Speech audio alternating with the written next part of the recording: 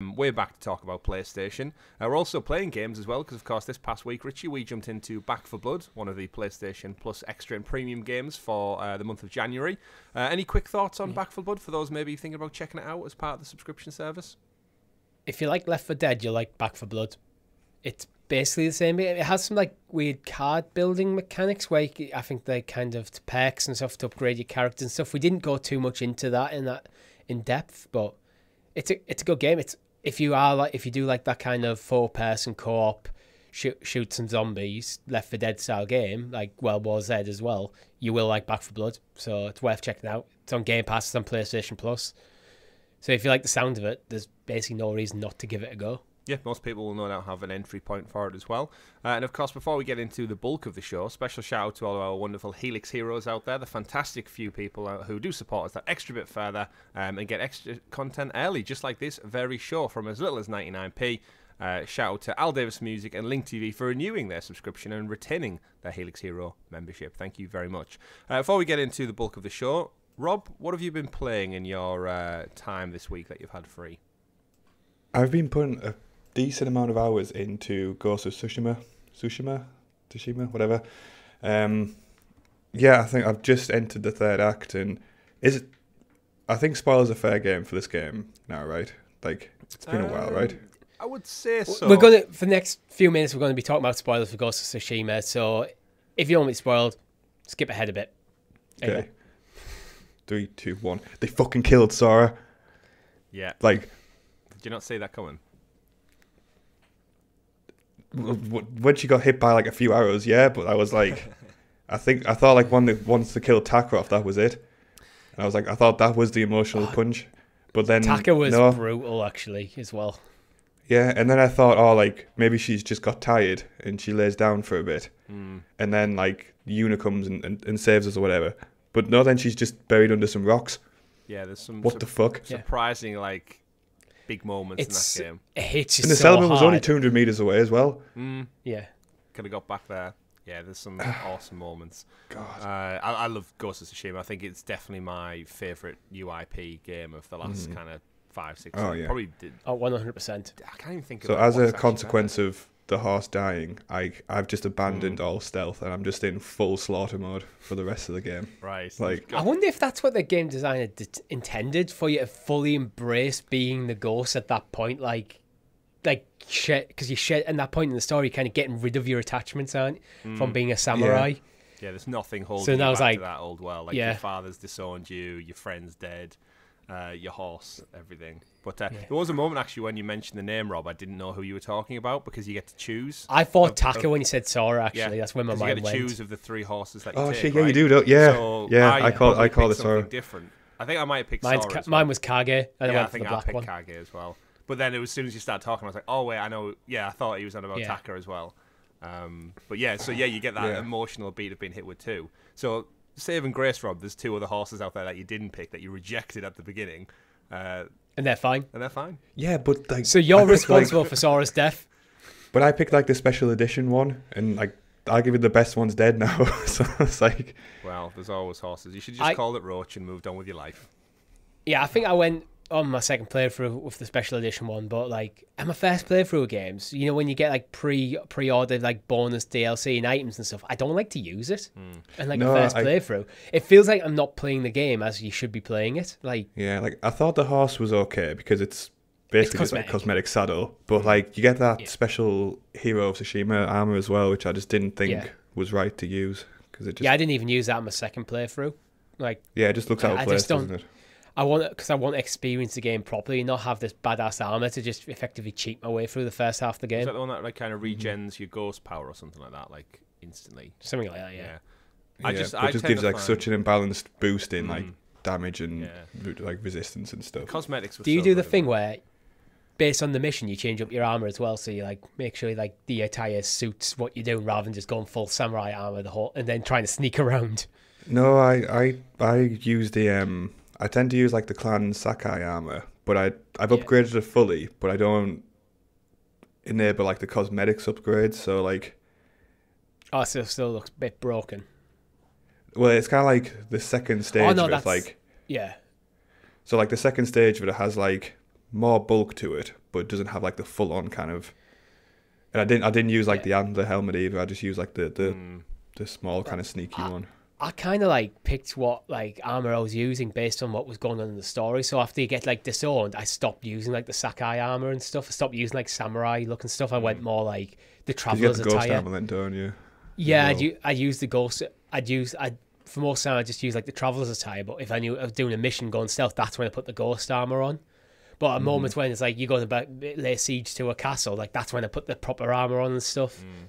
No, Some I don't. I don't of role play yeah. in that much depth. Yeah. Yeah, Richie I don't takes his usually in games. very seriously. Richie sat I don't with actually an don't actual, usually like, do go that depth, head, but katana it's because they have different they have different stats as well. So I was like, well, this armor actually suits what I'm doing in the story as well as the gameplay. Yeah, I usually but as you can tell, I'm very much that- into it at the moment. I usually pick Yeah. the one that just looks the nicest and wear and wear that one. Yeah. But yeah, Ghost of Tsushima is a, an amazing game, like absolutely amazing. I think actually, in, in hindsight, reflecting back, I think I actually preferred Ghost of Tsushima to Horizon as far as the new IPs go that have launched in the last few I years. think I'd agree. Yeah. I, I agree. Yeah. Like Horizon's no doubt fan- fantastic for what it is, Mm-hmm. but there's just something about I think playing in feudal Japan which I think I've never experienced in games before. Like Yeah. outside of you and me playing like Dynasty Warriors back in the day, Rob, like ancient China. Like this is the nearest I've got to like telling of like a, s- an, an Asian story that's happened like with depth, characters, like um, Yeah, just absolutely. it's on such a good scale And as I well. think- Yeah, there's just enough like peppering of like challenging combat Mm. without it getting annoying. Like apart from like a few like reuse like Ryuzo fights, which I just found annoying because he was that took me a while to figure his pattern. Mm. All the rest of it's kind of quite balanced in terms of if you fuck up majorly there, you'll pay, but it's not devastating and stuff like that. So Yeah. yeah, I have no bad Yeah. thing to say about the game apart from sorry combat, dying. combat's so good as well. Like Mm. just reminisce now, like the, like when you learn all the different stances and the sword play, and, and when you go to ghost mode, that's just you feel like the ultimate. Like as a video game should do, you feel like such a badass when like everything just goes black and white, yeah. and you just mess shit up. It's, ah, it's so Yeah. satisfying. And holy shit, It- that, it that when is. you retake Lord um The castle, no not when you no it's not when you retake it, it's when you defend the like the I outpost. can't remember kind what of it's thing. called now. I- Like the I know which villages. part you mean, yeah. And they break down the gate, and you're like, oh, I'm Yeah. not having any of this shit. Yeah, and then like you like you all Yeah. kind of charge collectively. Ah, such a good It is. cinematic game sequence. It's incredible. It really is. So if you've not checked out Ghost of Tsushima, everyone, uh, definitely go do that. Is it part of PlayStation Plus at all? I feel like it's part. It of, is, like, yeah. the- It's on. The, main I, I'm. I'm playing it on the Is premium it? plan. Did, wasn't it? Didn't it bring it out as part? Of, you know, when they first launched the PS5, they had that kind of collection of like Yeah, like if you. almost classics from PS4. I can't remember what they called it, I think it's just the. but is it part of that? Was it part of that? I think it's just called the PlayStation Plus collection, and it is. Yeah, it's like the greatest Yeah. hits of, of PS4 essentially, and uh, Ghost of Tsushima is undoubtedly one of them. Um, yeah. If you and ever, the PS5 version's on there as well. I'd recommend Rob. It might be worthwhile if we can get it around to a stream as well. The um, Ghost of Tsushima Legends multiplayer mode is fantastic. Like, yeah, we should. Yeah. it, you'll enjoy that I- so I- so much. I did accidentally go into that when the, like I found a guy and I just started talking to him and then it's like oh Ah, he's trying yeah. to force me into. But definitely, yeah, it's um, it's just so good. It, it could have been a standalone game, and the fact that it was like a free update that came out after the campaign, like I remember it dropping, thinking, "What? They're just going to Yeah. add multiplayer after the fact randomly?" And it was like, "Yeah, Yeah. it's pretty damn good as well." It's like, "Oh shit, it is." Yeah, it's re- I think it will be a standalone game in the future. Oh, I think that was them just experimenting. Mm. They've already got an install base with this game. Let's just give it give it free. Let's see if see how people vibe with it. Yeah. Because if it, if it if it came and didn't do well, like all right, no, didn't lose much, but because it was received well, they now can probably build a full game around that concept. Yeah. Although there's quite a bit of depth there already. Absolutely. Um, so quickly, Richie, what have you been playing? Um, I have played both Persona 3 Portable and Persona 4 Gold. You finished them. No, no, I played about an hour and a half. Yeah, there's not Um, I'm not going to talk too much here because we are going to talk. We talked about it a bit yesterday in XPass. Um, But- but, yeah, we have first first looks on the channel, so go give them a watch. Mm, yeah, if you're a fan of some JRPGs, they are, I think, literally revered as the best or some of the best, hands down. They're definitely up there. Yeah, Wonderful. Go fill your boots on that one. Uh, I've just been chipping away more at The Witcher 3 in between um, some big work projects that I've been doing. So um, I think I've just about met Dandelion. I'm just about to meet Dandelion, which I'm guessing right, is, yeah. is Jaskier from the TV show, right? The Bard. That's who Mhm. he Yeah. is. they changed his name for reasons. Yeah, I can imagine because at the same time, I, I told you guys I've bought the books. I've started reading the first, the Blood of Elves Witcher book, and like that, pretty much chapter one opens with this guy called Dandelion who's singing tale of Wi- Geralt of Wi- Rivia and stuff, and I'm like, is this just Jaskier? I've only I only know the TV show as a point of reference, and then I'm kind of going back over. So then, but now I'm playing the game, and I'm about to meet Dandelion. I'm like, oh, so I've got kind of like a trifecta of like pop culture working on me from all different angles now. I'm waiting to that point where they all crescendo together. I'm like, I get it. It make everything makes sense now. I can see the Matrix almost in front of me of Yeah. the Witcher world. But yeah, I'm enjoying it. I'm getting more into it. I think, which was a slow burn. I was at first I was thinking, am I just going to get too overwhelmed with how big the game is and everything to do? But like most video games, I think you give them a, a decent run and you start to sink into how you play them and what the mm-hmm. world is. And although If, if when you focus on the story, the story grips you, you get sucked into that world, then you start. It, the side of the world doesn't bother you starts as to much. make more sense and coming across like these little side stories and characters and, and whatnot. But I'll still be honest, I've still not crafted or made any potions or shit. That's still well beyond what I can be bothered to do. But, I ve- I very rarely did as well. yeah, but Apart from like health potions and stuff. But yeah, I'm just happy eating Oh. bread and rotten meat to kind of heal myself. So, but I'm, I'm getting better at the combat now, so I'm not taking as much damage as I was early doors. But uh, yeah, I'm enjoying it. I'm enjoying it. So, plenty to play, and of course, we'll be playing more video games this coming week as well on Thursday as part of our weekly live stream with you, the wonderful community. If you do want to join our Discord server, you can uh, jump in there and recommend what you'd like us to play with you. But uh, we will let you know, so keep it locked to the channel so you know what we're playing as it comes about. Uh, right, gentlemen, let's get into the thick of the news. We've got a busy show full of some fun, exciting topics. So, Rob, if you could do us the honour of introducing us to the. properly prepared PlayStation perusing points, aka the news. The news. The news. He did it again, folks. He did it again. Um, yeah, I, I didn't go do it as long though. So Great show this week, as I mentioned, starting off with story number one, just dropped last night, actually, only just made it into the show. Uh, our headline story Marvel's Avengers are going to be reaching their end game after just three years. That's correct. Square Enix and Crystal Dynamics confirmed that support for Marvel's Avengers will officially end on the 30th of September 2023. Uh, the live service action game will be just three years old, having first launched on PlayStation 4 back in September 2020. Uh, you'll be able to keep playing the game after the above date in both solo and multiplayer, but there will be no further updates or additional content beyond that point. Uh, what's more, it will not be available to purchase on digital storefronts. Starting 31st of March, all market, challenge cards, and shipment cosmetic content will be made completely free for all players, uh, which of course is a nice gesture. And this will occur alongside the launch of the title's final update, which promises some final gameplay balance adjustments. Um, now, before I hand it over to you two, I've um, played this game extensively. I think I've got about 90 plus hours in it. Uh, so I'm probably the biggest fan of Marvel's Avengers here on the show. Um, it's sad to see it go, but I understand the decisions why. Um, I don't think Square Enix was the right studio, well, Crystal Dynamics in particular, to look after the multiplayer aspect of this game. I think they nailed the story campaign with Kamala Khan, and I think they just kind of got lost in the weeds with either too big of an IP, what they wanted the game to be. It probably launched too early, even though they delayed it a few times. And overall, I think the the biggest detriment to it all was that uncanny valley was it, they never got official MCU voices or likeness. I and I don't- think that pulled the rug out from under them. I really don't think that's the biggest problem at all.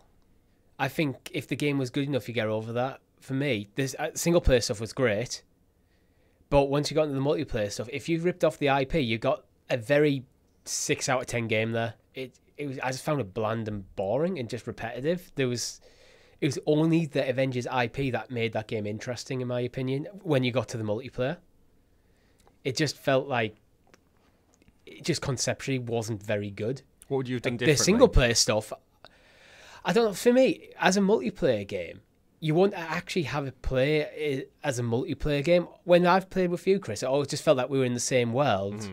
in the same map but that's it. There was no like synergy between our characters at all.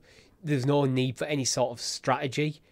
And you were just all the worlds were just cook, cookie cutter with basic same missions basic same enemies and it was just like it's just it just felt really really bland Yeah, in my opinion. The variety was incredibly poor. when when we've played the story stuff Hmm. i've en- i enjoy playing through the stories because i like avengers i like marvel um, in terms of the ip so when the ip was doing the heavy lifting it's like i had a good time Mm-hmm. but once you get past the story it's like I don't know why I want to level up my characters. I never understood why should I level up my characters. What's hmm. the purpose? It, it goes back to the game being confused with like it wants to be a games as a service, but at the same time tell a story. And again, I think very few franchises have done that. I think Destiny does a good job of it in retaining that player base. But with Marvel's Avengers, like you've got the potential to sell to tell so many stories, and we've seen that like just by proxy of what what they are anyway. They're superhero characters who've got decades worth of comic book heritage to, to pull from, and they just didn't didn't do it. They didn't land, they didn't land that Quinjet, as they say. Yeah. When you go to games like Destiny, it's like, why do you level up your character? You level up your character so you can do the end game content, so you can experience more of what the game has to offer eh, from both like a story and lore point of view, and mm-hmm. also you you are joining a fire team, you are co- coordinating with your teammates and how to take down bosses. There wasn't any of that in the Avengers. You just there. Yeah, Like even in like missions like the defend the door missions, which were kind of the closest to where you need actual teamwork. Mm-hmm. There wasn't even the depth of the teamwork was like you stand by the door, I'll go take care of this lot, and then next one you go that well I take care of the door. And that was about it. yeah. The, like- the whole design process for the kind of four player online really wasn't thought out that well at all. Like like Yeah. I said, I think variety was its biggest thing, where it just felt repetitive after a while. Like it's all well and good having a roster of like eight plus characters. Um, some of them feel more similar to others, but yeah, like you said, at the end of the day, if you're doing the same just- mission on repeat in the same environments with the same robot villains or the same spider grinding. bots, it's like mm, For the sake of grinding, and it just never really I could never see the objective of why I should go in and level up my characters, like other than just to have bigger numbers. Yeah. Eh, That's all it felt like. It's just like just bigger numbers. Like I mean- yeah, and do more damage, but the enemies have more health. Yeah, I mean that's gamification kind of 101, isn't it? Is you're always striving for that bigger number. Like all video games really are is for the most part is you're trying to big big yourself up so you're a bit stronger, you've got a bit more health, like abilities, perks, skills, like you're always adding on, but like you said, what is that end game, that end goal and Yeah. Avengers just never really had it outside of the campaign. It was just grinding for grinding's sake. Like, again, don't get me wrong, I enjoyed that. Like jumping in as one of my favorite heroes oh. as Thor and smashing some shit up, with, like brain dead, just monotony, was kind of what I wanted had. sometimes. But with how how conde- how like how crowded like the multiplayer space is at the moment, you kind of need to step up and like give people a reason more than just hey this is you're playing as your favorite superhero to play hmm. a game. Like like you mentioned destiny this you could just be playing something like something like destiny. You could, or god knows what else. If you want to play with friends you, maybe you're playing fortnite maybe you're playing call of duty warzone any of these sort of star wars battlefront i'd, I'd say is even a better online experience. Yeah. There's certainly some decisions that didn't go the way. I think. Marketing, for one, the the had the problem with kind of Spider-Man being exclusive to PlayStation, pissed off a lot of the fan base as well. Like you need to buy this on PS5 or PS4 if you want to play Spider-Man. Which again, Spider-Man's kind of a key player in the Avengers, so just gatekeeping him behind one platform, I think ruffled a few feathers annoyingly. And yeah, I think they just there was a lot of stuff, but for me, yeah, the roster of the kind of villains was just weak. Like fighting task, ti- fighting Taskmaster and Abomination fifty times over, it just just started to, to fall on its feet a little bit. Um, Rob, what do you think this game could look like after the fact? Because they do say in their in their post that all the cosmetics and stuff are going free, which is great to see the kind of game see it out. It does say though solo multiplayer will still be there. There'll just be no more updates. So does this just is this game still mean- fully playable indefinitely, or at one point in maybe another two years they're going to have to announce like actually the servers are going to be pulled now, and it's kind of dies yeah, twice over. They're gonna have to do that, aren't they? Like, I guess you'll see like a bit of a spike when people check out like new cosmetics and things like that from Mm. existing play, like well, I guess lapsed players, should you say? But as you've both said, like, despite that, there's still no reason to come back to it, even, like at all. I think it's just going to turn into more and more of a ghost town until Mhm. it gets to a tipping point where they can just say, "Oh well, no one's using it. Let's just turn the server off," and then it gets put in the dustbin of live service game Yeah. like games, really, which is a real shame. But yeah, they as you guys of, have both um, said, there was too many like Yeah. mishandles, I guess. because It- their, I think their approach to updating the game seemed to be rather than fixing the core pr- fundamental issues of the multiplayer, it's just like add a new hero in a small in like a, a five hour campaign around that hero. That seemed to be Yeah. the only approach they ever took. So the, So while they were fun experiences, you play, we play for. I think they were even like maybe sometimes like two hours because we we finished a few on stream. yeah, I think we did. So you play through, and then I wouldn't touch it again after that. Yeah, I think the Black Panther War for Wakanda content was like the biggest expansion ever. They added a whole new world in in the form of Wakanda, and then I think me and Richie like got through it in like two and a bit hours, and it was like, oh, okay. Yeah. So And, and like arguably as well, like like Marvel as a as a property now is in like a bit of a weak phase of mm, kind of creative to draw from to put into the game. So they've had their. I imagine endgame, there's there's so- been that consideration as well, right? Yeah, my my I think looking back in hindsight, it's easy looking over three years, and I think because it launched to not critically acclaim and some a lot of multiplayer problems, the the way game development works is they obviously had to address the problems first and foremost, which put them on the back foot. I remember this came out kind of like peak COVID as well, so 2020. This is like lockdown, everyone's sent working from mm-hmm. home, and so we've got to factor that into. But I genuinely think all the problems at launch then had a kind of snowball effect when in an ideal world, I believe this game wanted to get Hawkeye content out when the uh, Disney Plus show was out. She Hulk was rumored. Every time a new Marvel movie comes out, like Black Widow, drop the Black Widow content. And because of all the delays and the problems and the fires they had to put out early doors, everything kind of become dislodged from the original schedule. And you ended up getting like Hawkeye months later, Black Widow well after the movie came out, and then they started to announce like the the MCU counterpart skins. Like we just got the Thor um, Love and Thunder are the original Thor outfit from the MCU like this past week. It's like that should have been there a lot longer than two and a half years into your game's life cycle to kind of bring those fans on who are watching the movies and enjoying uh, the content that's on Disney Plus. And again, I just think it was mismanaged from the start. But at the end of the day, it was their own fault for making Crystal Dynamics, who are famed for making amazing single player games in Tomb Raider, and not just letting them make a single player Avengers game. The single player stuff works really well. Crystal Dynamics Shine. You, I mean, if you can pick it up cheap, it's worth playing through the the main single player campaign. I've always held that. Yeah. But with the every time they brought out new content, you mentioned bring out new heroes in time with the shows. I still feel like all you're doing at that point is you're just capitalizing on the IP rather than actually trying to make a good game. You just bring out more of a mediocre game. Yep, but it works, doesn't it, for marketing? Like if I'm going to watch Hawkeye over Christmas, and I'm like, oh, to an extent. Hawkeye's but if like game. again, when Hawkeye the Hawkeye content dropped, we both jumped in. We had a good time on stream, and then I never touched it again. So you have that small, you have that spike, but it's very much a sharp spike, and then back to plateauing like a lower than you'd like level. is that not games as a If service? games as a though? Like Destiny games as a service, you want- and then it just Yeah, off you will. you you will always have that massive spike, but you have to have that kind of base level to maintain itself. And it never has. And that. Avengers never had that. You were just relying on the spikes. I mean, you don't like fighting MODOK bots 50 times over and over again. I'm telling you, MODOK's going to be a shit hot commodity come Ant Man uh, next month, apparently. Yeah. We'll see. We'll see anyway. But yes, uh, Endgame is in fact here for Avengers, and um, who knows what we'll see. At least, at least it frees up Crystal Dynamics to move on.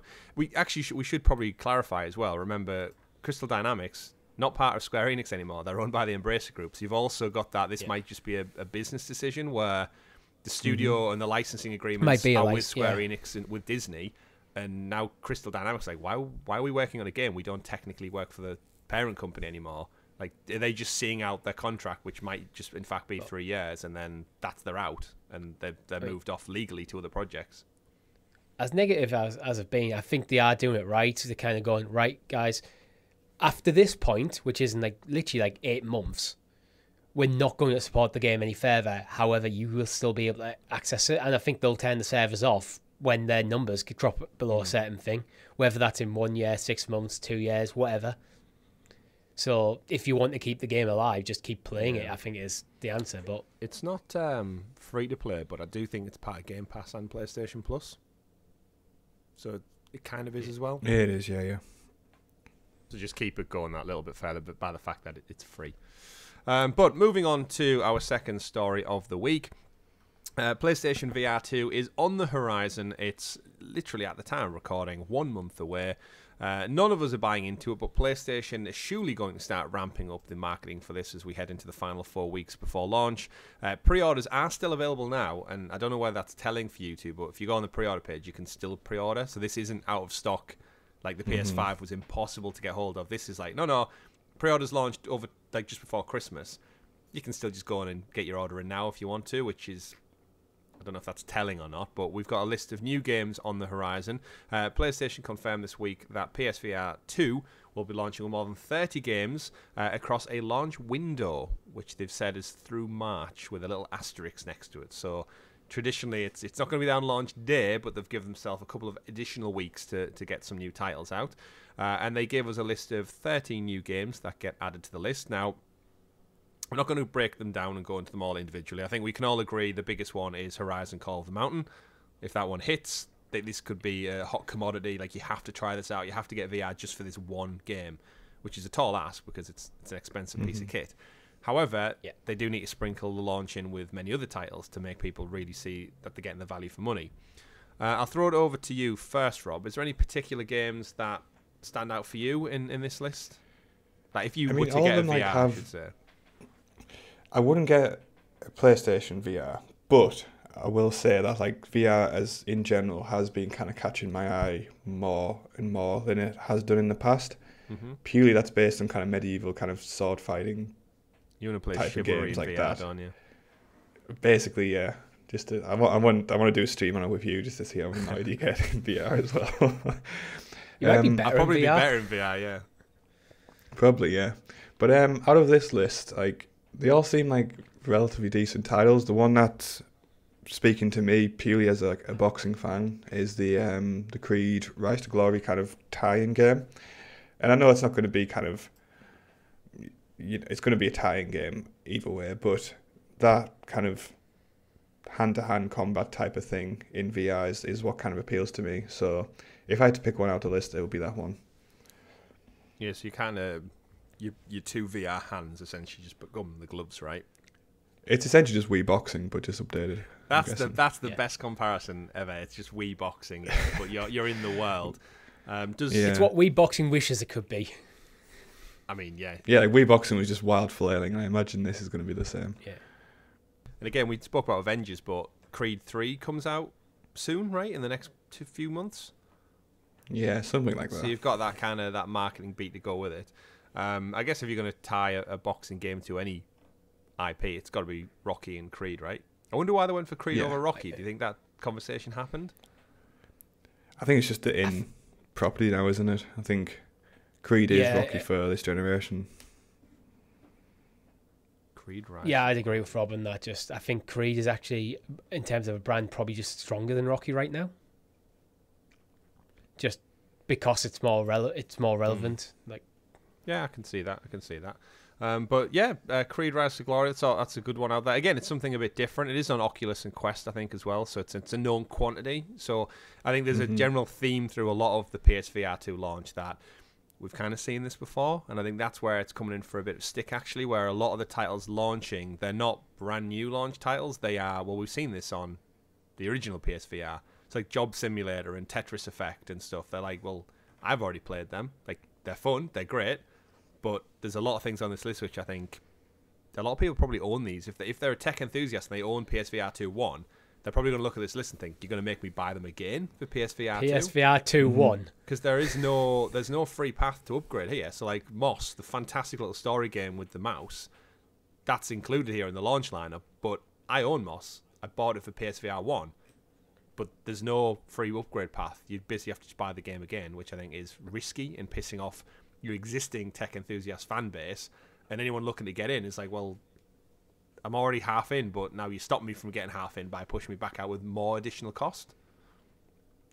Yeah. So, yeah, definitely. What? And I think some of them have like a ten, like a there's like a ten dollar upgrade or something. Mm. Like, I think Tetris Effect is, has one, and like, but still, yeah, it's, but it's ten dollar upgrade take. for a game that you might already own on a platform that's already costing you five hundred thirty pounds to buy. Yeah, it's just a bit of a piss take, I, isn't it? Like, yeah, well, I can't get over the cost on this because I think VR is cool, but when I was thinking about the story the other day, I was like, what what does VR need to do to get my attention? It's like, well, when I think, you think about your time gaming, it's your free time. So it's not just get you're just not competing with just gaming. You're competing against maybe spending time with friends, going to the pub, going like maybe if you're into sports, go do a sport. Your all your hobbies and interests, it's competing for that same amount of time. So mm-hmm. for for five hundred and thirty pounds for me, I think VR games have to be better than non VR games. And while they look, they all everything on this list I think looks like a good game. I think they all look distinctly m- missable. None of them are calling out to me as this is a game that I must play. Maybe Call of the Mountain is the only one that comes close. But even then, it just feels like a VR version of Horizon. And I don't think that's enough for the price point. Then you add in the fact that you don't get the if you own PSVR VR one games, you don't get them over. And it, I think the only way to, for me to even really consider PSVR is it needs to half the price point of the ha- hardware, hmm. and this thirty game list that you get should just be there as like A starter pack. because I think, yeah, I think it really, or even if it is a, you get all these on PS Plus Premium. So if you're a premium member, you get all these games for free. Then it's like you can start to justify the additional cost. Because if you're interested in VR and you don't already have a PS5, you're talking over a thousand pounds before you even bought a game. Yeah. Yeah, and like And it's, it's such like, a big barrier just- to entry. It's way too big for what is expe- effectively a cool peripheral. Yeah, and again, I, I've always felt with a lot of VR stuff is it's uh, more it's more giving experiences. So like I think Yeah. one of the titles they've announced in, in this one was uh, Kayak VR, which Oh, it looks kayak is one of the ones I've like I've looked at. I was like, this looks pretty damn cool. it, does. I, I like the fact it's got a, it seems to have a lot of pace behind it. It looks beautiful. Mm-hmm. It, it, it's But different, but again, I'd it just enjoy an playing that game. Hmm. But is that an experience that is worth five hundred thirty pounds plus the price of game? Yeah, that's it. Like it looks gorgeous, and again, I'm sure all of the new hardware that's gone into it, like PSVR 2's headset, is undoubtedly going to be I- the best quality headset in, at the cheapest price point in terms of value on the market. But that price point is still, like Richie said, all in the bundle, Way too high. a grand. Which Yeah, I could spend that, like that, say that five hundred thirty pounds. How that's like ten games Hmm. on just PlayStation. On that's more than that's probably more than like the AAA games I will buy this year. Yeah, on PS5. These so it's like I just can't square away that level of cost. I think you mentioned Chris that it's not out of stock. I think that might be why. Mm-hmm. I th- I've got a feeling. I, I mean, it feels like PlayStation want VR to be a thing more than gamers want VR to be a thing at the moment. I think the industry And- wants it to be a thing because, mm. like, It's let's face cool. it, there's not It much more really, you can do. really cool. But again, it comes. It does come back to it, like that price point, and you're competing for my times. Like if I was to play that kayak VR Mirage, which looks awesome, Mm-hmm. or Creed, Creed VR, or Horizon Call of the Mountain, that's time that I'm not playing something else. Yeah.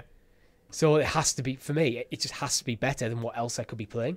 Absolutely, and for me, it comes back as such someone who's such a play a big PlayStation fan. It comes back to down to like research and development, and I genuinely think if PlayStation were to come out this like this coming February with a PlayStation handheld that costs four nine nine, so just short of the VR price point, and it had a Horizon portable game and remote play cloud gaming element in some capacity in, a, in an OLED screen like the Nintendo Switch does. What you mean, like a st- basically a Steam Deck style. Yeah, thing. I think that would mm-hmm. sell infinitely more than a VR headset. I really do. Oh, I'd be very tempted. I'd be in. I'd be in day one because I'm like, yeah, I love, I like, I love my Switch, but it's just my Pokemon machine. Tell me I get all my PlayStation stuff and remote play, and it's a legit Sony piece of hardware. I'd pay five hundred pound for that without even thinking, as opposed to VR, where I'm like, uh, when am I going to use it? Are the experiences? Whereas with the handheld one, if you tell me I can play God of War Ragnarok, but stream it or cloud play it or whatever on this device, then yeah, because we've said time and time again in a few shows, Richie, like I'm not really in the market for a Steam Deck. I like the concept of it, but I'm not a big. I don't have a big Steam library and, and all this other things. But if it was a PlayStation one, I'm just so much more inclined to get. it. And I think all the research costs going into VR, I'm like, look how many Switches are selling, 140 million. You're really looking at that handheld portable gaming console and going, It's- eh, it's not really for us. It's like 140 million units sold. Sony, they've got out of their portable gaming market as at the time it's just exploded. Yeah. like the thing is, um, spoilers for my Persona playthroughs, but I am contemplating playing them games just through the cloud on my phone. I've even just off my Kishi because Persona 3 Portable, well, keys in the name, came out on the PSP. Persona 4 Golden came out on the PS Vita. They are games designed to be played in a portable form factor. So I'm, I'm tempted just well, if I'm playing through the cloud, I can maybe I can play on my phone occasionally. I can play on my Xbox. Yeah. I could even play on my PC. Like just sync all these free saves up. So if I had, I I mean I've said before I don't really like the ki- the Kishi that well. I think the but for the price point, the buttons just feel a bit cheap and mushy, and and I think the- the form factor of a phone, even a large phone like I've got, the screen's a bit smaller than I'd like, mm-hmm. but it's still. So if like if I could get for a reasonable price point a PlayStation Vita 2 Mhm. I'd be very tempted by that. Yeah, it's it. I like I, again, everything tells me that one day it will happen. Like I just I think it has to happen. Like I don't think the Nintendo Switch. I don't think anyone I- can look at the success of the Switch and the Steam Deck as a company who puts out games and hardware and goes, "Do we really not want in on this market?" And then they've got an entire division with dedicated to VR, and you're like, why? Like, there's so many better things you could be doing instead. But I hope they succeed. I just don't re- for, for the price. I just don't really see much of a route. yeah, but I mean, it depends what how you define success. Well, that's But- true. But I think that the original PSVR one saw like five million, which was like less than five percent of the install base of the PS4. Which again, it's it's still more VR headsets than any other company.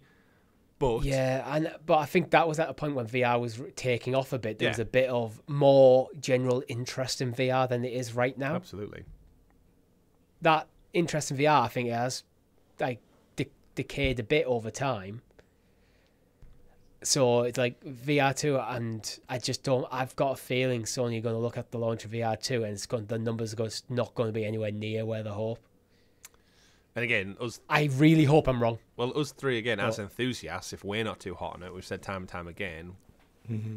Who's like is, is like little Timmy asks for it, and his mum goes, "Oh, it's your birthday next month. How much is it? Five hundred and fifty quid." Plus, then it's an extra like, fifty for "Shut up, Horizon, yeah. and then I need the controller charging dock, mum. That's like an extra forty, and it's just like, no, sorry, Timmy. Maybe when you uh, get a job as an adult, your own job, and then by then you're an adult and you think, no, fuck, I've got bills to pay. I can't afford a VR headset for five hundred. And less time to actually play VR. Yeah, so uh, we'll see. Again, if there's any games in there uh, that do interest you, let us know in the comments below. More importantly, if you're thinking of getting a PSVR 2 uh, headset, uh, let us know as well. There's a bunch of games on that list. There's a baseball bat game, there's Rez Infinite, there's Tetris Effect, like I said, but Baseball bat simulator. it's called What the Bat. Yeah. And it literally, again, looks like I would have a fun time playing fake baseball, but not for more For than an half or an hour. I wouldn't even say an hour, to be honest. I'd probably Yeah. have like a little chuckle and then think, why did I pay 15 quid for this game or whatever its, its launch price? The only thing saving grace with VR is the, the prices for the games are generally cheaper. I think they're usually coming around like 25 to 30 odd pound. But then again, does that Yeah. does that say something about mean, the quality or the perceived quality? If you're a VR enthusiast, if it, if this was a completely standalone thing and you didn't need the PS5, I think the price would be okay. Yeah, more reasonable. But hopefully it won't get cancelled, unlike the next project we'll be talking about. Ubisoft again going through a bit of a rough time. We'll talk more we talked more about it, I should say, yesterday on the XPass podcast, our weekly Xbox podcast. Go check that out, see how the green side lives. Um, over on Ubisoft headquarters, they've confirmed that Project Q has been cancelled. So we know last week's news told us that they've cancelled three unannounced projects.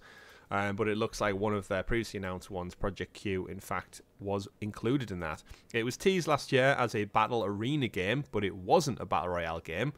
Um, and it seems to be gone. Um, Project Q, from what I saw and played of it, codename Project Q, I did an early test.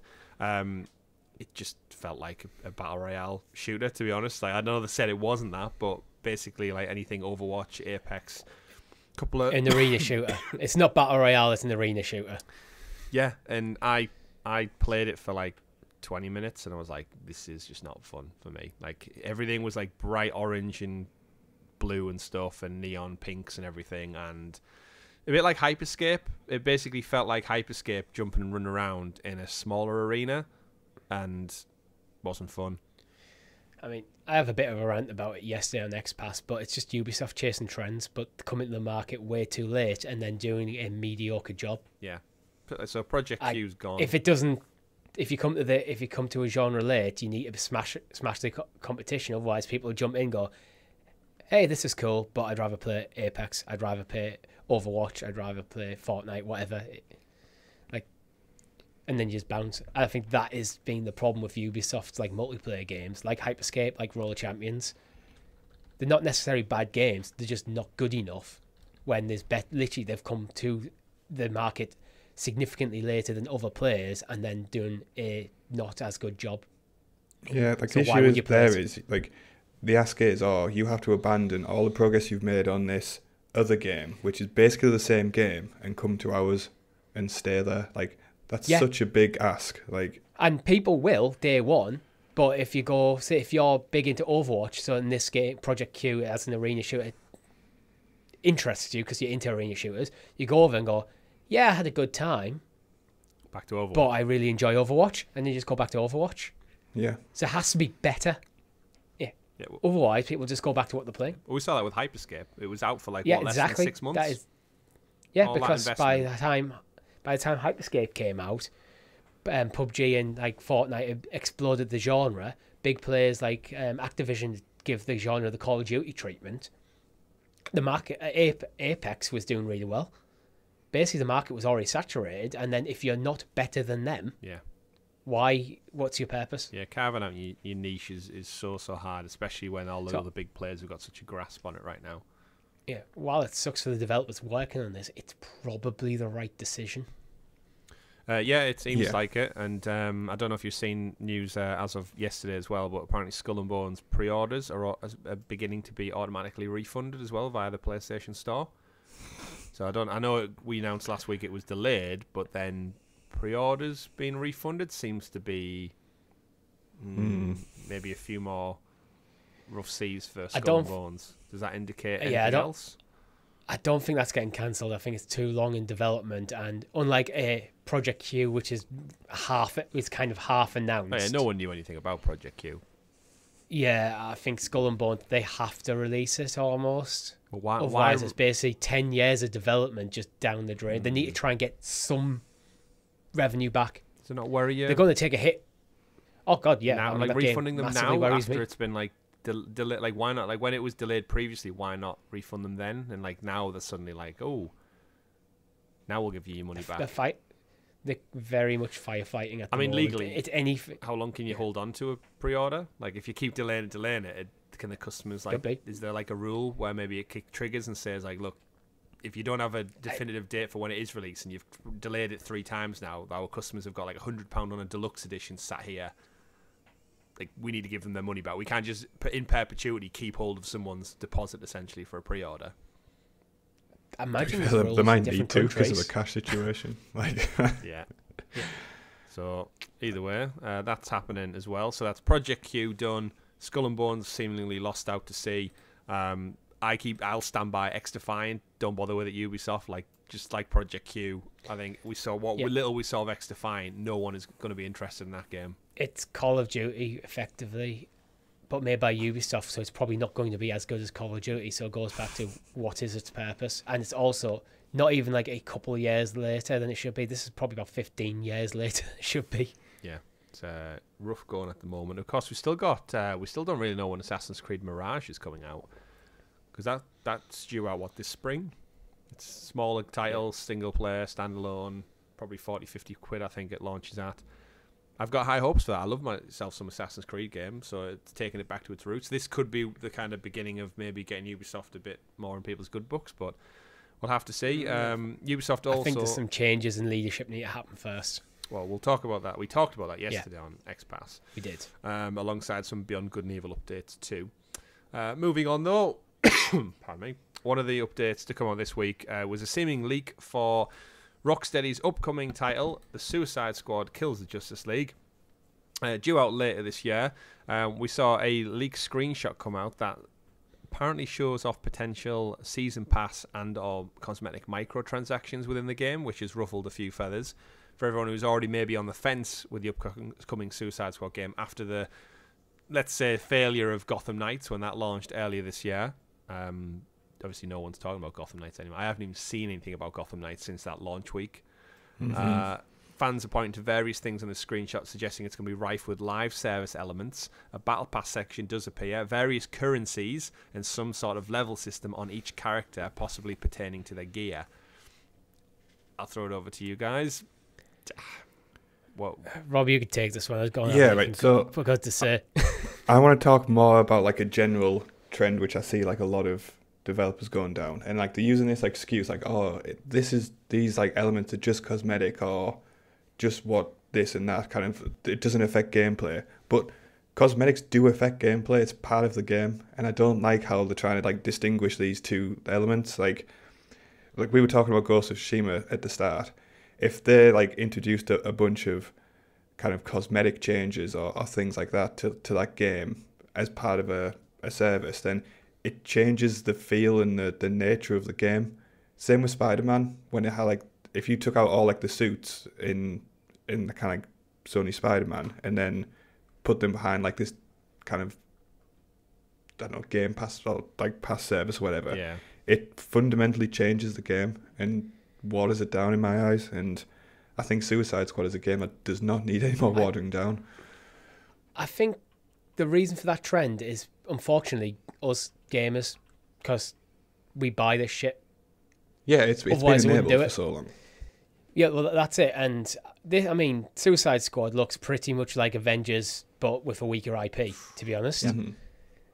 and but it looks like the same kind of generic hey he, form a team a couple of team with a very like with your friends and just jump in and very kind of actually fairly standard combat that is just give a bit of a dc facelift and then all the it feels like rather than trying to produce a good interesting game and developing a game it feels like they've just manufactured what's already out there put slapped an ip on it and then found a way to just monetize it. It feels like just a- cynical way of just continuing to monetize monetize something rather than doing what I think most gamers would actually say they want, even if they do buy this crap. Not necessarily the game, the cosmetics. When I say crap, Yeah. it's that we want good games. We want developers to be creative. It's a creative industry. Show me something that I haven't seen. And I, from what I've seen of this game, I've seen this game tons of times, just not with a Suicide Squad label on it, I, I skin on it. And I wasn't interested in what came before either. It just Yeah, I think there's that added risk of just like we said so much at the start of the show about Avengers, but it's you took a studio that makes fantastic single player games, in the Batman Arkham games, a wonderful trilogy, revered as some of the best games, uh, superhero games of all time, and you put them on a multiplayer project.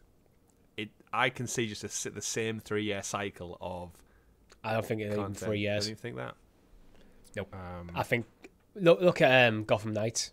We've all, we've just said that it basically seems like dead. There's no mention of it anywhere.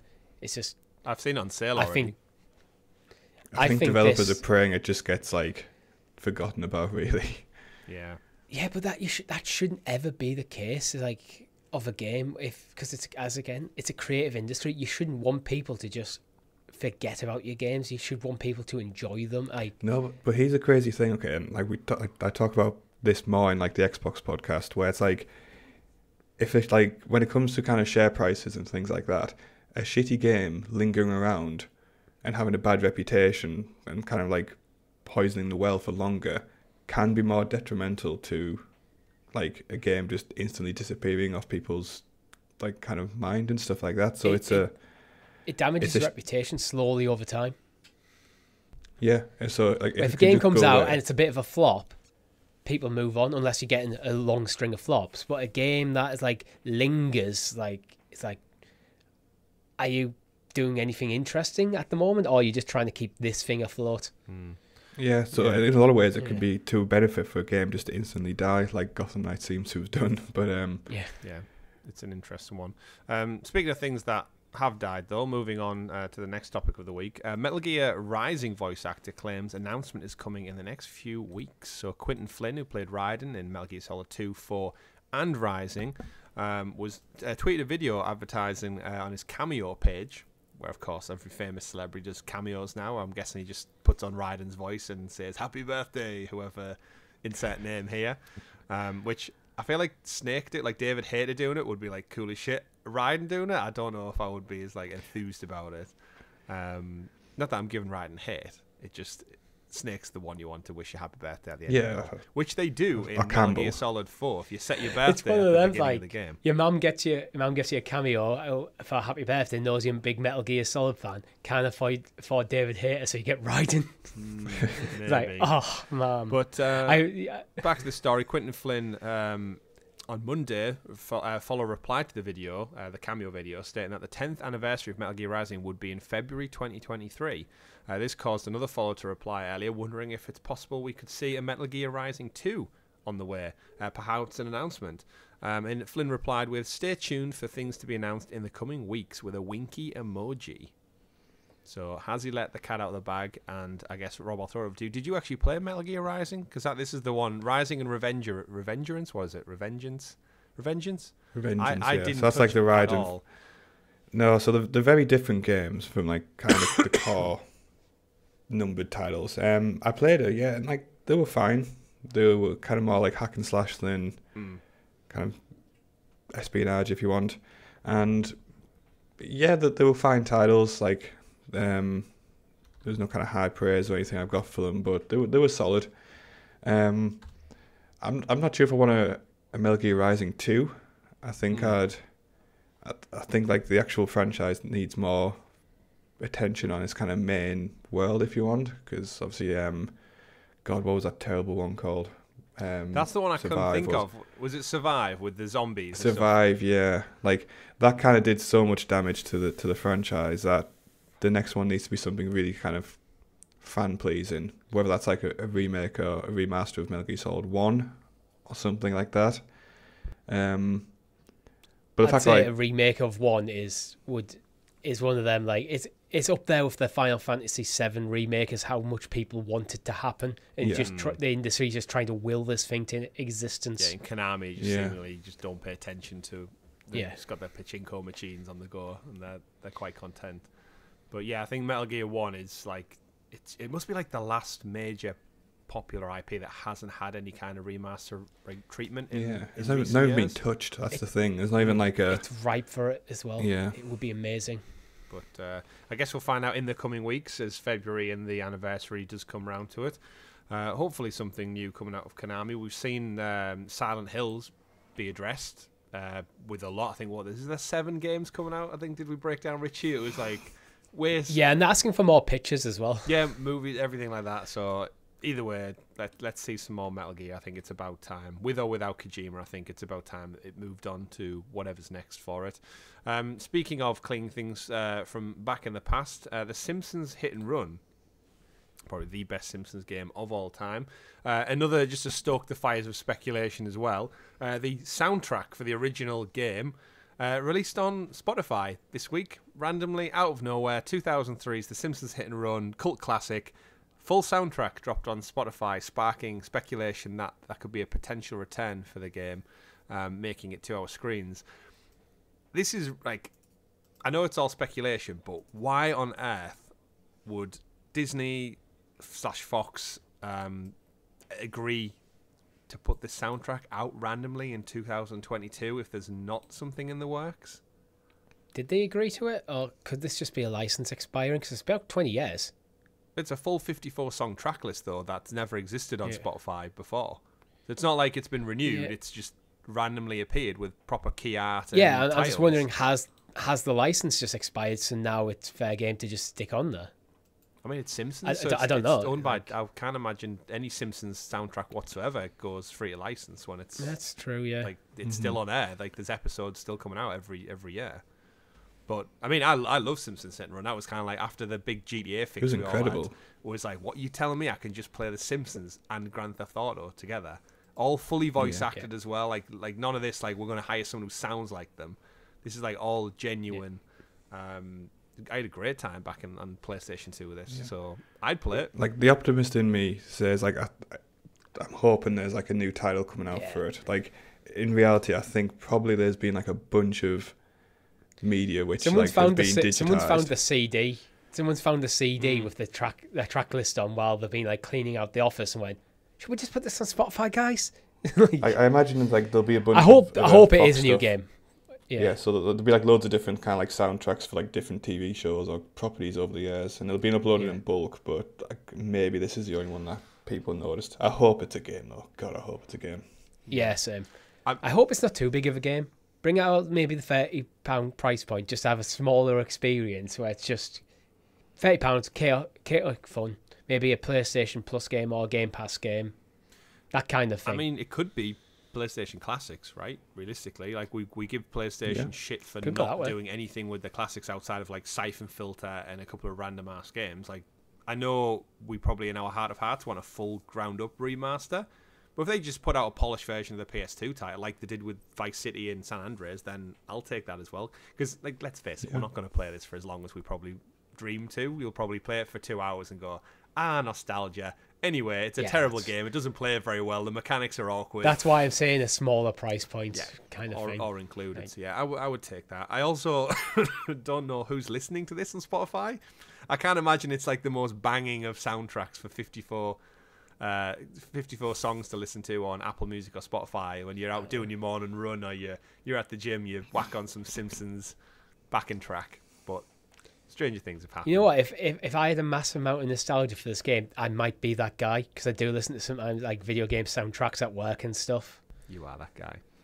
Um, rounding the show out this week, just two quick stories. Um, quick one Ultimate Sackboy launches next month. You can bag a preload now on uh, Google Play uh, and the Apple uh, iPhone Store. Um, bit random, but Sackboy is making his next adventure uh, on mobile phones. It's literally one of those run run adventures. I don't have any footage of it, but it's. Uh, you behind cameras behind Sackboy. He runs down the streets. You swipe left, you swipe right to It's an endless runner. between three lanes and avoid obstacles and fancy suits and cosmetics dressed as our little sack companion. But uh, yeah, that is what it is. And then finally, Returnal uh, will be getting a PC release this month as well. Uh, Returnal's one of those PlayStation exclusive. That's the only one I've not really tried out. Have either of you two checked it out yet? No, I I'm the same as you. Because it's is it It's on just PlayStation Plus in some form? I feel like I've. I, I I think it Yeah, I think it. It's about two. It's coming up on two year old this this spring summer. Um, I feel like it's one of those where I, I'd enjoy it, but I think at the time when everyone was saying how like the difficulty spike in it, like Dark Souls almost, it just immediately put me off. It's a roguelike, and I know how you don't like to lose your stuff when you die. yeah, it pisses like me off. you like you're like me. You like to play through a narrative where roguelikes tend to be like you jump you jump in. It's more about the gameplay rather than the the story. Yeah. So like yeah, you you you're meant to get better and better and better each time you go through a run. Yeah, but It's just one of them. Uh, PC coming out. Minimum specifications are up on the website now.